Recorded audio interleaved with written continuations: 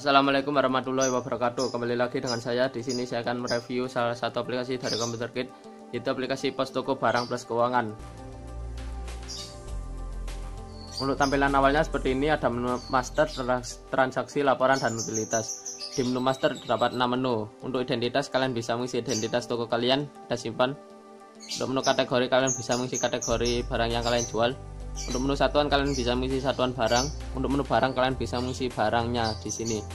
Dan untuk menu pelanggan kalian bisa mengisi nama pelanggan. Untuk menu supplier kalian bisa mengisi nama penyuplai. Untuk menu transaksi sendiri ini ada empat menu. Pembelian, penjualan, pemasukan sama pengeluaran.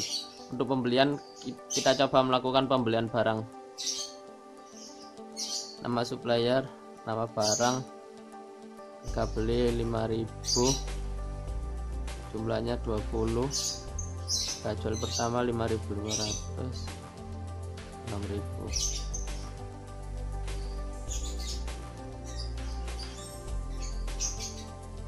Nah itu tadi sudah melakukan pembelian barang ya.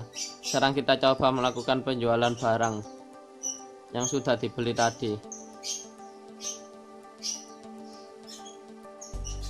Bayarnya 10.000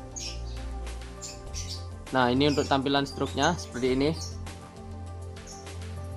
Untuk menu pemasukan ini kalian bisa mengisi pemasukan kalian setiap harinya di sini. Ini untuk mengontrol keuangan. Dan untuk pengeluaran kalian bisa mengisi pengeluaran kalian setiap harinya di sini.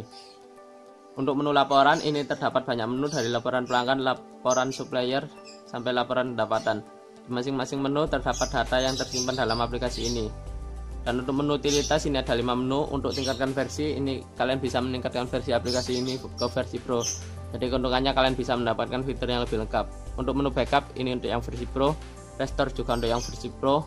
Reset data kalian bisa mereset data aplikasi ini di sini. Dan untuk menu cara penggunaan ini kalian akan dialihkan ke YouTube-nya Computer Kit.